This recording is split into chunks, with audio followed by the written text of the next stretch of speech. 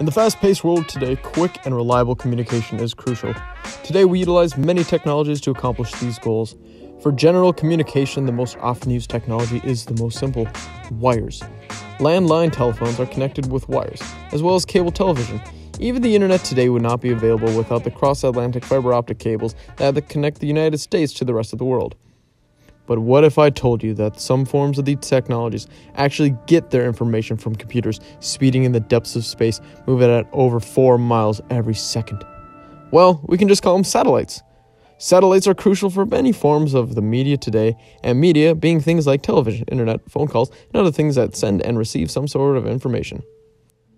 But how do the advancements in satellite development benefit mass media?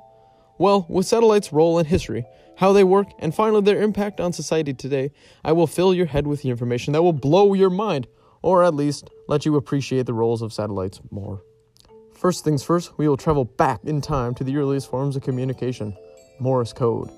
Dots and dashes that sounded the same could either be a message that could unleash a fleet of soldiers into an enemy country, or just a message saying, Hey, what's up? to your friend that also had a Morse code machine.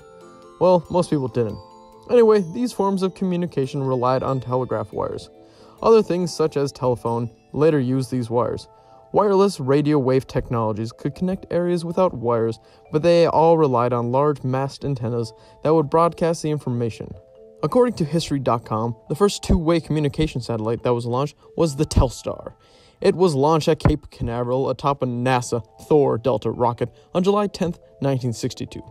AT&T was a company responsible for this satellite, and thousands huddled around their TVs to witness the first broadcast of a black and white Statue of Liberty.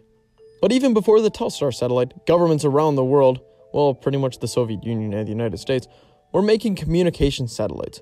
According to the Britannic, I mean Britannica.com, the first artificial satellite, Sputnik 1, was launched successfully by the Soviet Union on October 4, 1957 but this satellite was more of a beeping soccer ball in space. The United States' more powerful SCORE satellite, or signal communication by orbiting relay equipment, launched from Cape Canaveral, Florida on December 19, 1958, where it broadcast a taped message conveying peace on earth and goodwill towards men everywhere from the US President Dwight D. Eisenhower. But going back to the future with Telstar, it was a milestone in future communications. Today, according to Talking Points memo, there are over 1,100 satellites in orbit today, many of which are communication satellites. We have satellites that broadcast TV, some that give internet to places, and even some that let you call anyone from anywhere regardless of cell service because they have a satellite network that always has coverage. I wish our phones would connect to them because that would be a lot nicer to have service everywhere. Now that we know the history of satellites, we should know how they work. The first step on getting a satellite to work is putting it in orbit. After getting it there with the help of a rocket, it can start working. But how exactly? Well, satellites work mostly as a relay. This means that a signal is sent to them, and then they communicate with other satellites and then send their information back to Earth. Those satellite dishes on your house are gathering information from the satellites every second, but as I said earlier, the satellite moves. This causes big problems with communications. Say you are watching your favorite show, Oprah. Now, say you're getting a signal beaming from a single satellite moving in excess of 4 miles per second. It will quickly move across the sky and you'll have no more Oprah. That's not actually what happens because engineers have clever tricks to create a constant communication. One way is just to increase the number of satellites. If you have enough satellites passing overhead, you are bound to have one pass overhead to give you signal. A problem with that is this can cause issues with switching over to other satellites. This is also more expensive because there are more satellites to build and launch. A solution to this problem is putting satellites into geosynchronous orbit. According to How Stuff Works, an article titled How Satellite TV Works, most communication satellites are in geosynchronous orbit. This means the satellite is orbiting at the same speed as Earth rotates. You may have noticed that satellite dishes that are attached to your house are in a fixed position. That is because satellites are in the exact same position in the sky at every moment.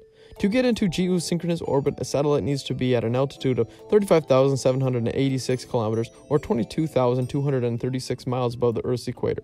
It also needs to be traveling the same direction as the Earth spins. A downside to this is there may be a delay in the signal brought down, but since the speed of light is so fast, it really isn't a big deal.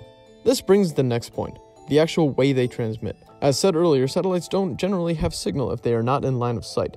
The reason satellites need to be line of sight to work is because they transmit electromagnetic waves. These waves only work if there is a non interrupted line from transmitter to receiver. This is also why we get that awful no signal message on our TVs when we're watching Oprah in a snowstorm. This chart shows the United States frequency allocations. Early satellite television was broadcast in the C band radio, radio in the 3.7 GHz to 6.4 GHz frequency range. Digital broadcast satellites program in the KU frequency range, which is 1.7 GHz to 14.5 GHz. As you can see, there is a lot of spectrum allocated to television broadcasts. Now, as we see, satellites play a crucial role in media communication. Overall, with the history, how they work, and their impact on society today, we have a lot to thank for those whizzing computers in space.